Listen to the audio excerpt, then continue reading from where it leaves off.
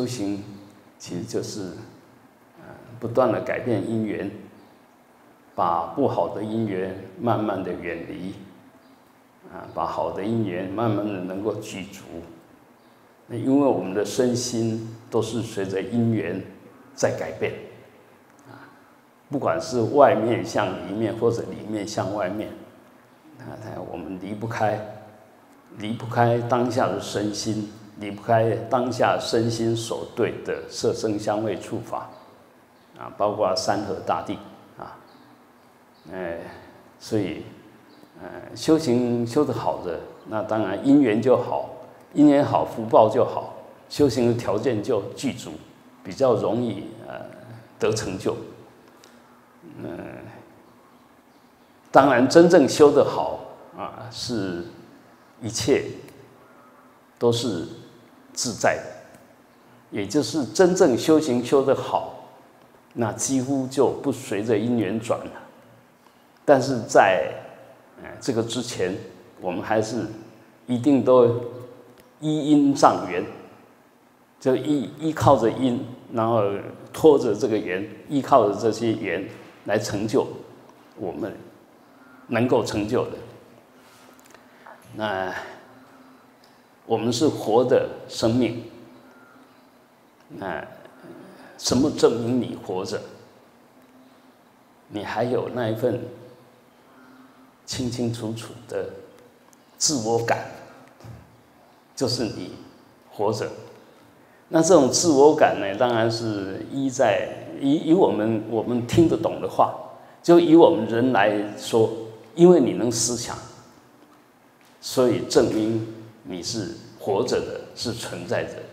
当你不能思想的时候，那表面上好像活着，事实上已经死了。像我们现在的老人痴呆啦，啊，这些，呃，几乎就活着，虽然是活着，但事实上他属于思想的那一部分已经不听使唤。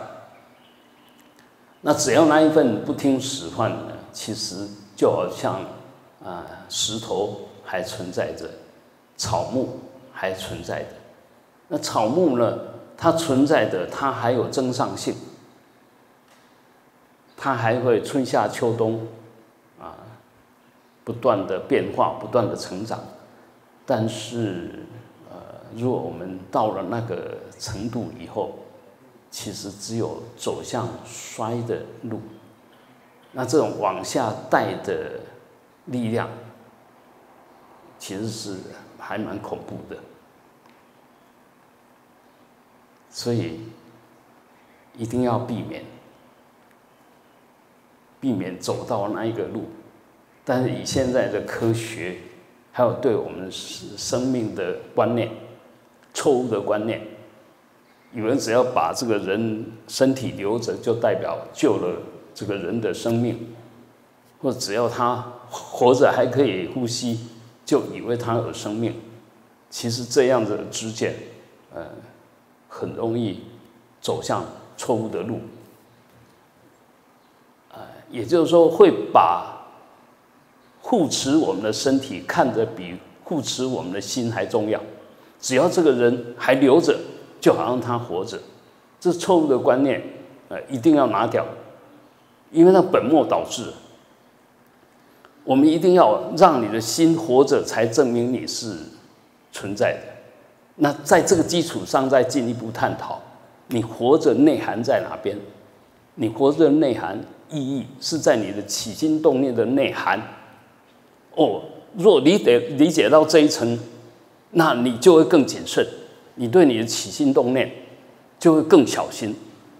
那你如果对你的起心动念都能够很如实清楚的关照着，那么你的心会走向不能扭转的路上，那个机会就少了。啊，我们拿一个大家都有的经验，如果我在刚一个念头起来的时候，我看到，还是举比较。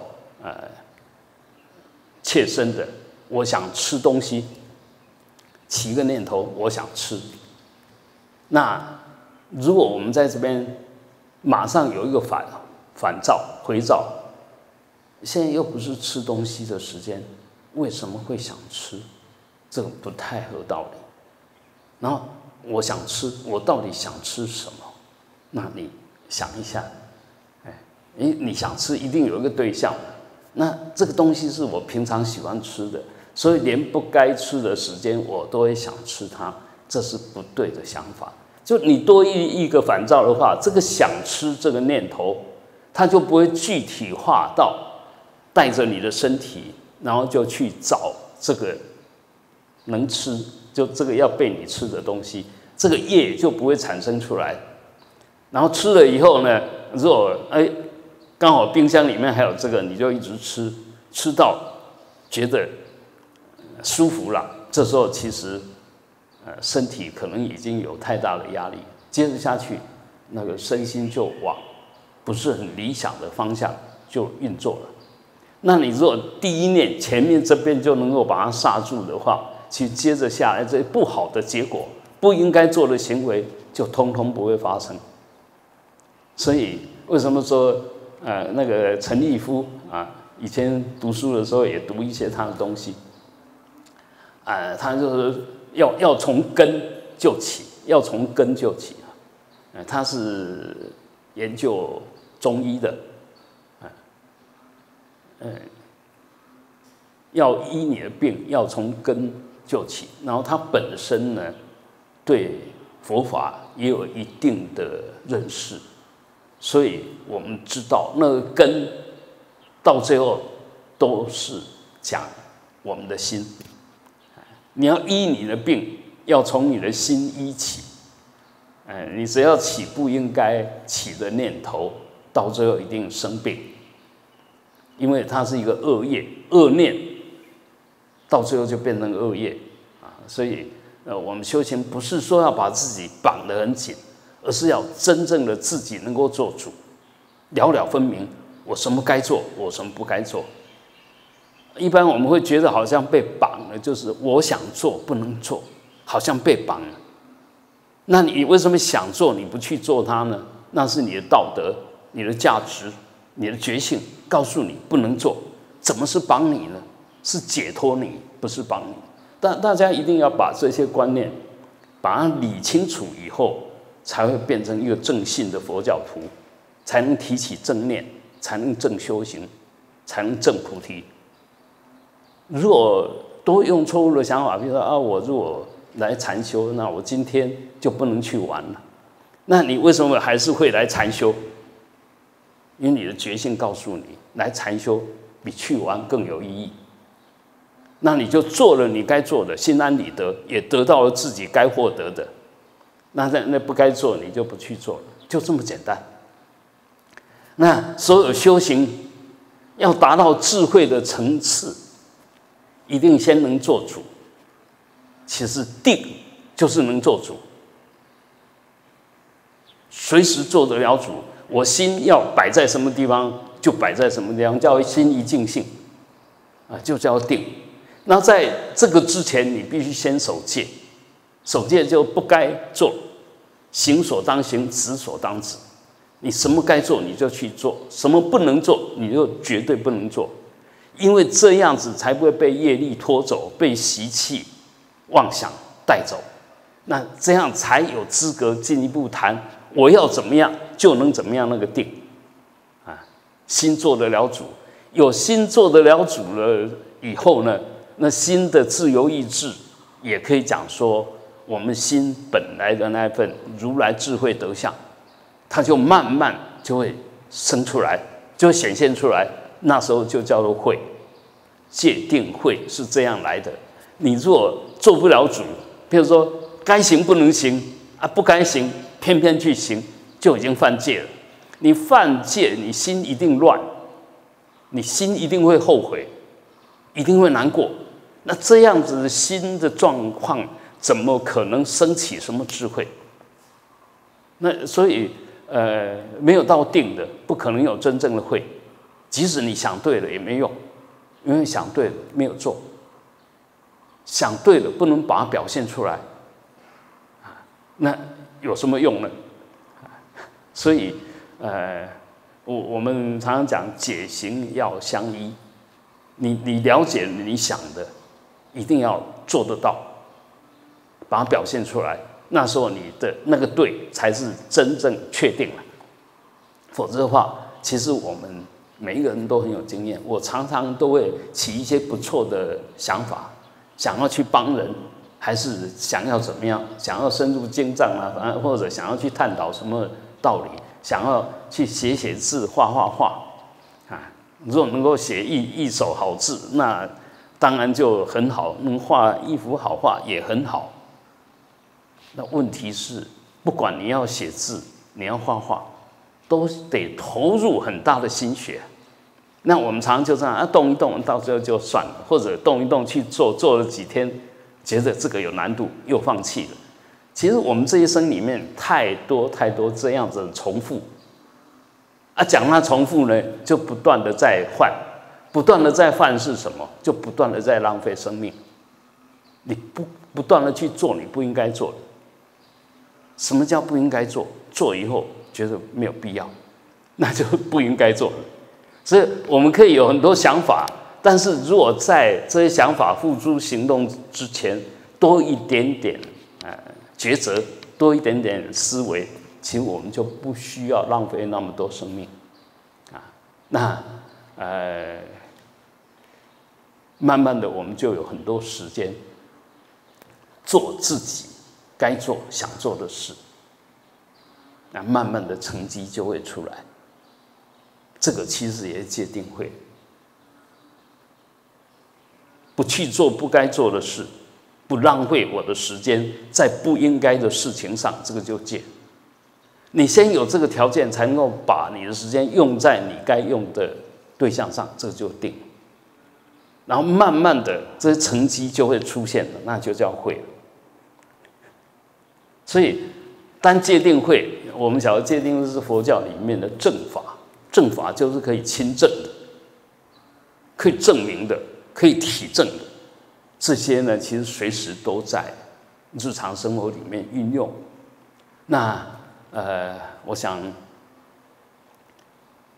我们当然可能看很多书，也听很多，但在这看跟听里面，其实也难免被污染了很多。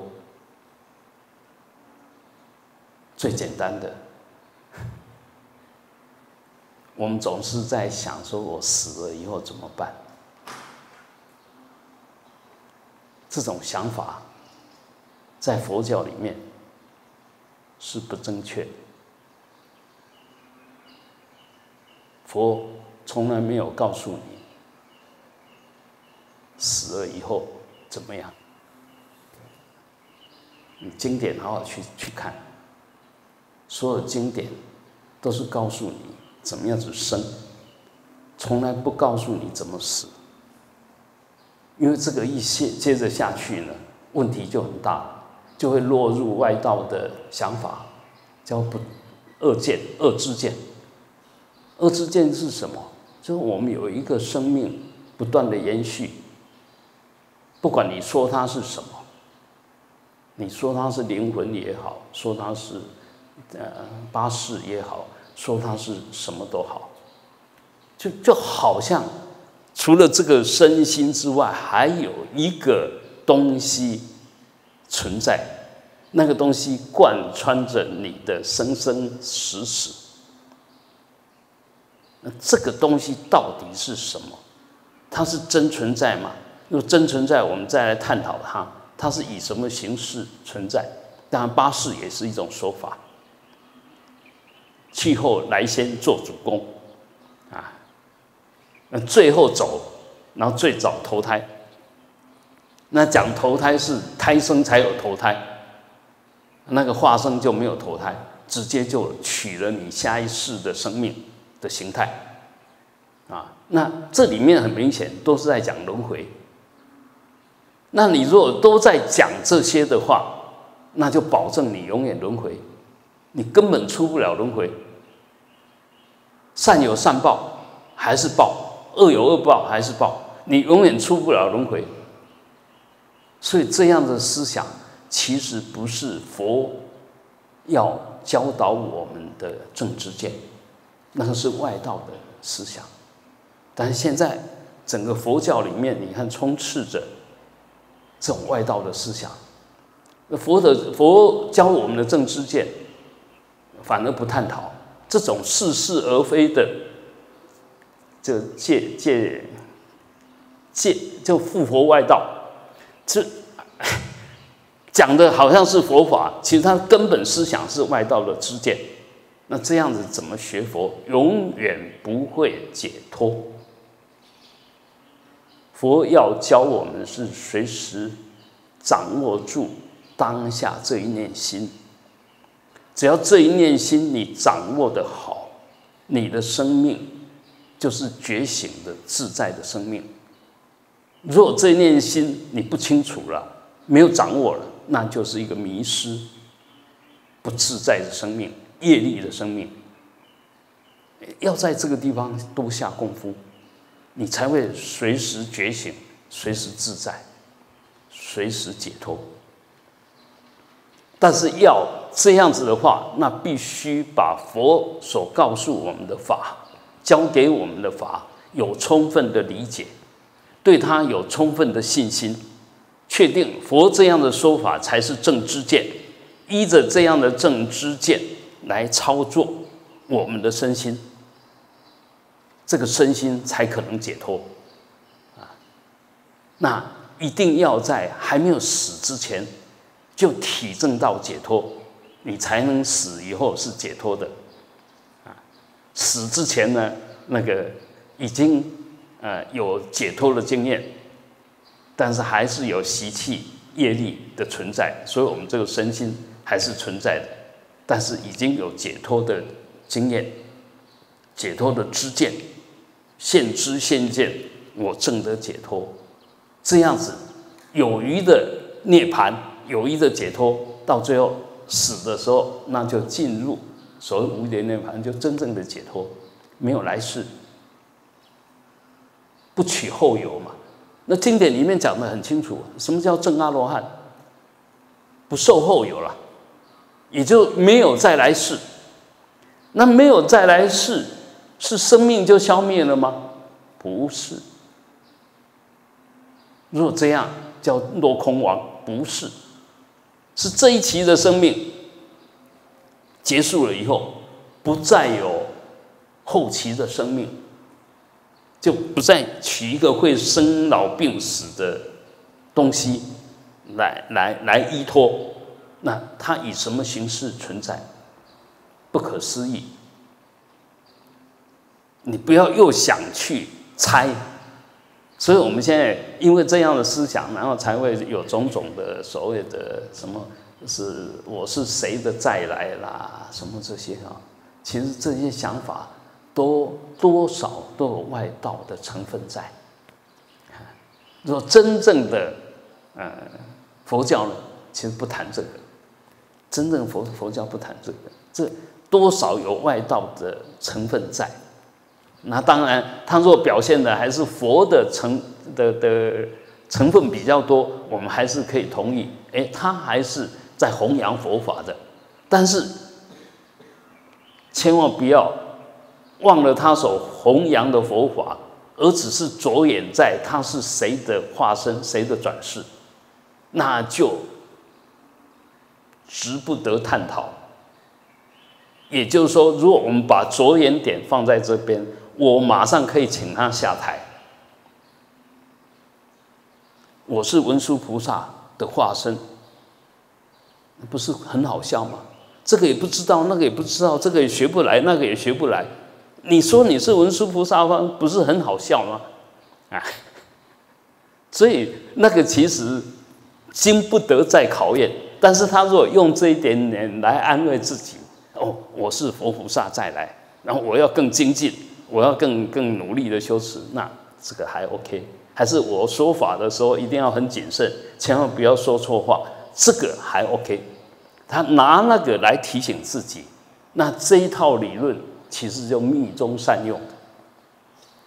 所谓修本尊，修本尊不是真的以为自己是本尊啦，不要幼稚到那种程度。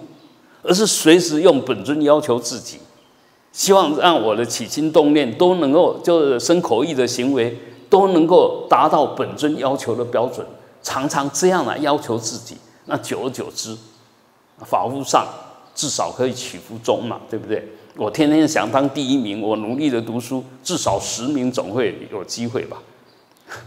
所以一一样的，那如果说我们能够用这样来理解来修持，OK 的。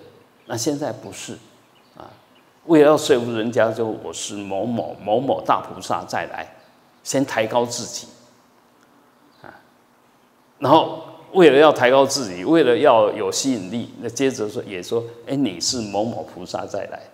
我们是一起发愿来的，哇！一下子搞在一起了，那接着下去，两两个就通通颠倒的圣者，两个不是圣者，然后自以为圣者，那这个就跟现在的那个直销有点点类似。当然，我这样讲不是说直销呃东西不好，而是就不断的说好的一方面，说好的一方，然后大家都吹捧好的效果。那那些用不好的、用了没有效果的，从来就不会说。那这个就变成一个好像讲起来是善性循环，但是是一个利益的结构啊，就利益 共同体。那所以从这个地方也可以得到很多得益了，获益很多。但是我们如果再进一步去探讨的话，那事实上再接着接着下去要问的是。你这个东西好没错，但是需要卖那么贵吗？因为接着下去要探讨的是，好里面有没有恶业？一个能够帮人家得到好处的，那你从这个地方获取暴利、不当的利润，那就有好的行为，但是里面积累的是恶的业。这些千万不值得，好不容易有一个好的产品，那你从这个地方获取很大的利益，何必呢？你能不能两件事情好事一起做？一方面好东西提提供给你，一方面做好的服务，行不行呢？当然行，绝对行。所以，呃，很多事情，若我们都能够从这些比较比较本体。比较根本的多地方去做思考，你就不容易犯错。那若只要没有这样子平衡的思考，常常以为我们在做善行，事实上是在造恶业、结恶缘。啊，譬如现在很多绝症的，那就有很多那个偏方，那一一一剂搞不好不要一百块，它可以卖到十万、一百万。他他抓准你的心理，那我们在那个一直想要让自己的生命持续下去的这个望见错误的知见，我刚刚为什么会特别提到那件事？其实这种错误的知见会让我们做错误的追求，而佛法是要回回随时回到你来安住你的心，让你心不被业力控制，不被痛苦。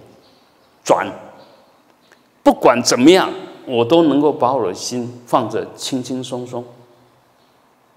这个才是佛法真正的智慧跟定力。不是你修好了以后就不会生病，不会面临生老病死，绝对不会。但是在人家怕的时候你不怕，在那痛苦痛不欲生的时候，你还能够安然自若。这个才是真正的修行。而且才是真正的学佛的重点，啊！现在我们常常都是搞错了，搞错了以后，你就发觉你根本就不能受用，有错误的知见，修半天其实是引到错误的路上去的，不对，不能这个样子，啊！好，那所以我想，我们的禅修不是要教大家怎么样子哇，能够有神通啊，能够怎么样？不是，而是慢慢的让我们。可以做自己的主人，可以不随着境转，不随着身转，不随着念头转。我们把整个重点摆在这个地方，那慢慢你才会发觉，原来思想就是念头不是你，身体不是你，你的医报，你所受用的东西更不是你。这样才能够把我过去错误的以为我我所彻底的看穿，彻底的放下。当你没有我，没有我所的时候，就没有轮回。而那个真正的我呢？它是根本跟轮回无关的。也就是说，它不好说，因为我一说有，大家又把它当成一个恒常的存在；一把它说它没有，你又落到了空亡。而事实上，绝对的法界里面，也就真正的法界里面，没有生灭。这个才是我们修行最高的价值，就是就近的疗愈。你要修到那个不生灭的东西，它才是真正的修完了，叫就近的果位。你如果修半天还得生灭，还得轮回，还得怎么样，那都代表。还不就近，所以我们现在当然知道我们不就近，但是在探讨这个不究竟里面，不能要希望达到就近，结果用的还是永远不究竟的方法，修的越多越不究竟，修的越多我执越深，我所的拥有的欲望越大，那修这种行当然是颠倒了，当然是颠倒，一一定一定走错路了，所以。在这边要多一点点深入的去思维。那我们如果不能思维，那至少就依着法来试看看，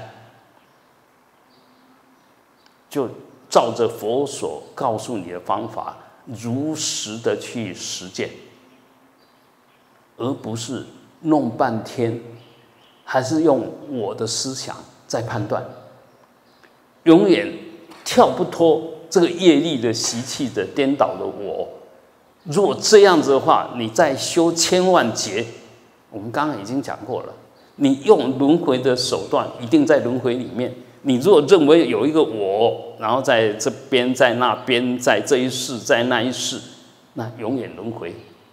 啊，那我们可以这样讲，你的当下是过去还是未来？当下，既不能说过去，也不能说未来。那当下是什么？当下是空，根本就立不住一个什么叫当下。若用啊，我就物理这方面来谈，当下是个不具点的点。大大家听得懂吗？我我在一张白纸上点一点，说它是点，这个点不是真的点，它有体积的，怎么是点？真的点是没有体积的，真正现在是没有过去未来的。你你说一瞬间一弹指，都都都是只是在形容它。根本短到不能再短，那我说我现在决定怎么样？意思是什么？我这个想法维持一段时间，你我我现在要干什么？其实这个现在一直在一直在动的，啊，不是真有什么现在。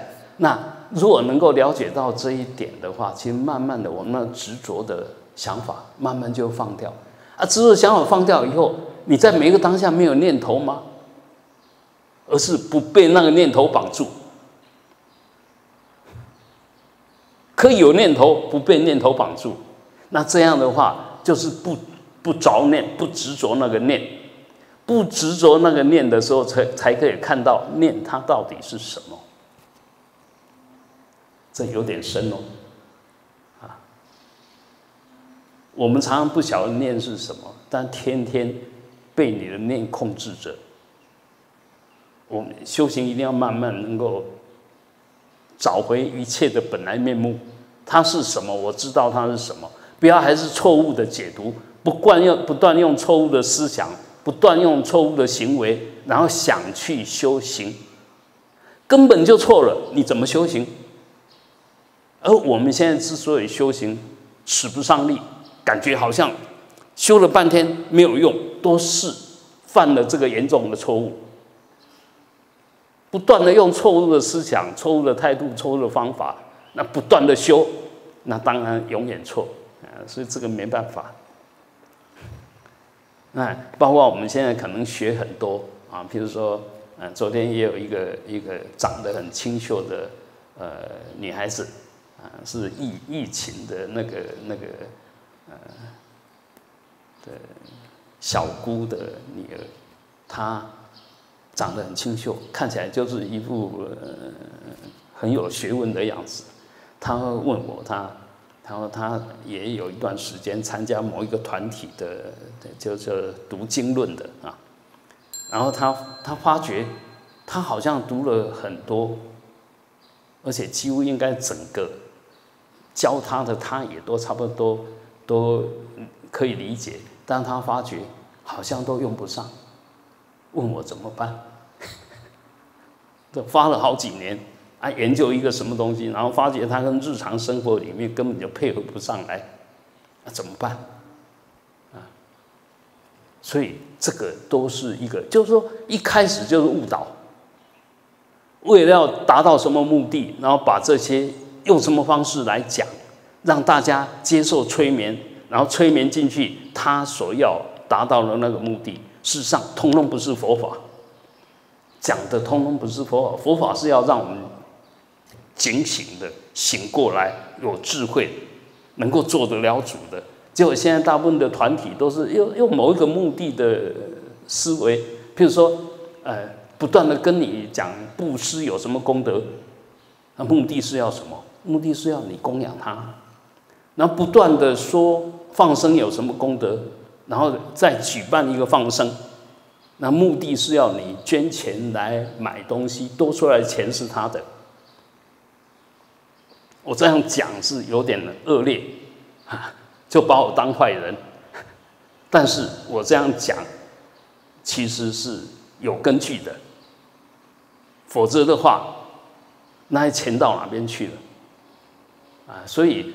很多东西就是我们在讲东西的时候，你你若能够冷静的去听，他讲的有道理没道理，你就不会被骗。就好像现在，呃，我们都算是受教育的人嘛，那为什么很多都还会被那个诈骗集团骗？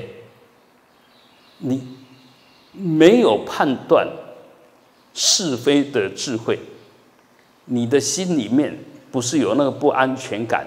就是有贪念，就在我们的心底心里面那一份很扎实的无名跟习气，如果我们看不到，很容易被骗，善用人性的弱点，而你就被骗了。而我们现在修行呢，是要慢慢让你看到你人性的弱点，而那个人性不是我们佛所说的。心性、体性、如来藏，而是我们讲的人性，其实就人的习气、业力。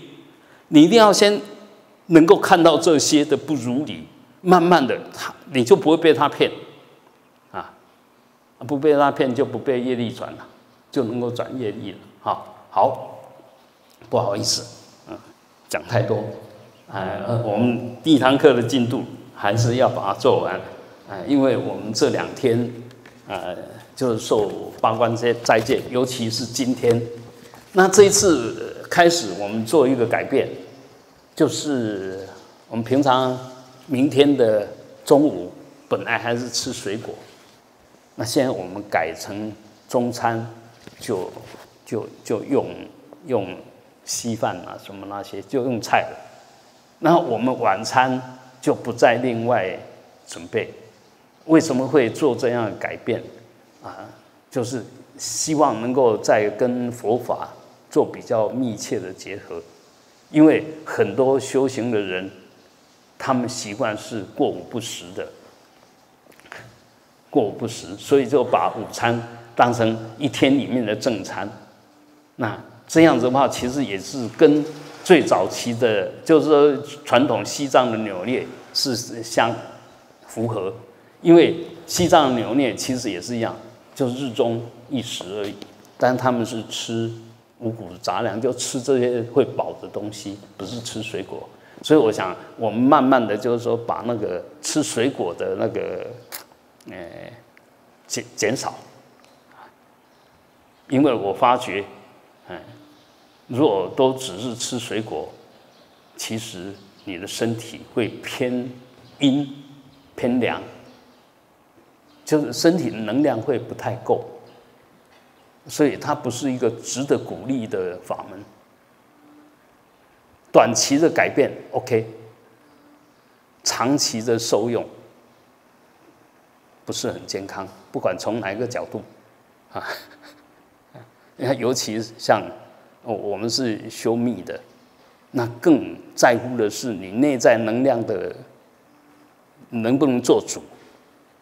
那如果修到最后，其实是被身体的那个阴性、良性拖垮，那到最后你做不了主的。啊也就是说，其实我们吃东西目的不是要好吃，而是目的是要让你的身体有能量，可以正常的运作，甚至往正面的去运作。我们现在人吃的很多，吃的很营养，但是让你的身体是不断的往负面在推动。现在可以看得出来啊，不是体格很难看，就是就是这边有癌症，那边有癌症。哎就尤其是肾，啊，那这个其实都是我们的饮食出了问题。那一个修行人很重要，就是说你要吃该吃的食物，包括刚刚我们讲的那个戒、定、会一样，你不能借进取或者见取。借进取来自什么？或者见取来自什么？哦，我觉得。呃，吃水果有很大的功德，什么？这个叫见取。那吃水果有多棒多什么？事实上，这个要在检验，是这是这个样子吗？就好像修苦行容易成就，是这样子吗？其实这个都要再进一步的探讨，才能知道它是真的还是假的。那因为我们人云亦云，哎，就人家怎么讲，我们就怎么听啊，就其实，在。脑筋里面已经装进了太多不健康、不正确的想法，它也变成你八四田里面的种子，隐约的还是影响了你的第六世啊，所以这个要很小心啊。慢慢慢的，我想把不没有没有价值的，我们就慢慢把它看破放下，不要执着啊。那好的，当然要再继续的发扬光大啊。好，我们嗯。拿着法本啊，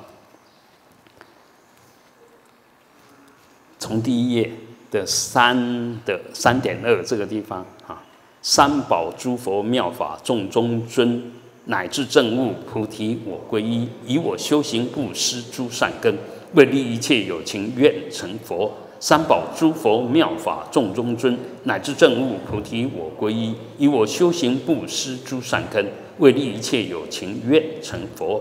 三宝诸佛妙法众中尊，乃至正悟菩提我归依，以我修行布施诸善根，为利一切有情愿成佛，直至得登佛果位。我因欲度诸有情，常以此念屈归依三宝佛陀法及僧，智慧悲心与双愿，勇猛精进为利益众，愿于佛陀尊容前升起圆满菩提心。直至得登佛果位，闻欲度诸有情，常以此念须皈依三宝佛陀法及僧，智慧悲心与双愿，勇猛精进为利众，愿于佛陀尊容前升起圆满菩提心。直至得登佛果位，我因欲度诸有情，常以此念须皈依三宝佛陀法及僧，智慧悲心与双愿，勇猛精进为利众。愿遇佛陀尊容前升起圆满菩提心。接着我们受八关斋戒，祈请十方诸佛菩萨，汝等尊圣，请眷顾我，正如往昔善事如来罗汉正等圆满佛陀，如聪慧马大龙大象，所作一半更无所作，舍弃垢运得己利益，穷尽轮回诸有结亡，清净言说言融心意，无漏智慧具足功德。为着饶一切有情，未能利益，令得解脱，令无饥荒，令无病苦，令得圆满无上成就三十七绝诸之道品，未能确定能达正悟无上正等圆满正果。今为行者完整无漏行说戒不杀，今行者我亦如是说。从此至明破晓之前。为了饶一切有情，未能利益，令得解脱，令无饥荒，令无病苦，令得圆满无上成就三十七绝诸之道品，未能确定能达正悟无上正等圆满正果，我亦如是完整无漏行说戒不杀。啊，你要达到无上正等正觉，基本上还是要从最根本的戒这边下手。那戒当然就包括我们身口意的受用的行为，这里面不该有的、能够不要的，就尽可能的拿掉，比较不会受污染干扰。哎，尤其那些受用的惯性啊，一定要想办法把它改掉。我们在欲界里面出不了欲界，就是我们有男女的欲望、饮食的欲望、睡眠的欲望。最主要这是这三个，那你如果要出欲界，那慢慢的这三个都要解脱，啊，不然要要死了还想肚子饿想吃什么，那就很麻烦了。好，接着我们就来念呃戒文，从此我将不杀生，他人财物亦不取，不敬刑法皆不做，谎言妄语也不说。众多过失之尽因，酒精饮料全戒除；高广大床不坐卧，非食食物亦不吃；香水花蔓诸庄严，歌舞伎乐等戒除。恒常犹如阿罗汉，不行杀生等恶业，我亦戒除杀生等。愿速正得无上觉，愿从生死大海中渡此纷扰苦世间。啊，我们再念。从此我将不杀生，他人财物亦不取，不敬刑法皆不做，谎言妄语也不说，众多过失之境因酒精饮料全戒除，高广大床不坐卧，非食食物亦不吃，香水花满诸庄严，歌舞伎乐等戒除，恒常犹如阿罗汉，不行杀生等恶业。我亦戒除杀生等，愿速正得无上觉，愿从生死大海中渡此纷扰苦世间。从此我将不杀生，他人财物亦不取，不敬刑法皆不做，谎言妄语也不说，众多过失之尽因，酒精饮料全戒除，高广大床不坐卧，非食食物亦不吃，香水花蔓诸庄严，歌舞伎乐等戒除，恒常犹如阿罗汉。不行杀生等恶业，我亦戒除杀生等，愿速正得无上觉，愿从生死大海中渡此纷扰苦世间。啊，最后我们念离曼持戒，唯愿能以无过戒，给予清净诸师罗，犹无骄慢心虑，圆满持戒波罗蜜。所以我们持戒就慢慢能够远离过失。啊，能够让我们身心都失罗，就清净的意思。啊，希腊，它是梵梵文，直接翻翻那个音过来，啊，也就是清净。那我们保持清净，那当然里面没有贪嗔痴慢疑。所以，如果你修行修半天，觉得自己修得很好，那才能我修得很好，你们都没有修好，那就是骄慢，那心又不清净。这样的人会修得好吗？当然没有真正修好，所以，呃，持戒也到最后其实也是随时看着我们的心有没有犯错。如果在这个地方就能够把它摘掉，一犯错就让他，因为心念只是心念，心念什么都不是，所以你要拿掉它很简单，但是你讲出来，啊，一言是是一言碎出数骂难堆呀。那这话讲出来就收不回去，行为做出来也收不回去。但是心念一出来，然后就把它化掉，这个是最高的修行原则，啊，这是最高最有智慧的修行人，这样是最快、最直截了当的修持，因为接着下去你都不用管，刚开始就把问题拿掉，还有什么问题呢？就不晓得刚开始不晓得问题，等问题出现已经来不及了，哎，所以这绝招为什么那么重要？你如果没有训练出绝招，那其实修半天都是马后炮，修半天改变不了什么。嗡，啊，吽。